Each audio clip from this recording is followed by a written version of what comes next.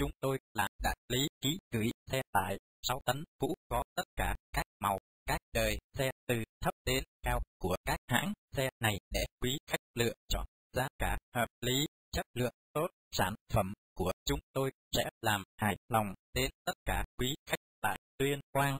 Tinh Thắng là kênh phân phối xe tải 6 tấn mới, giá cả hợp lý, khách hàng được nhận xe ngay.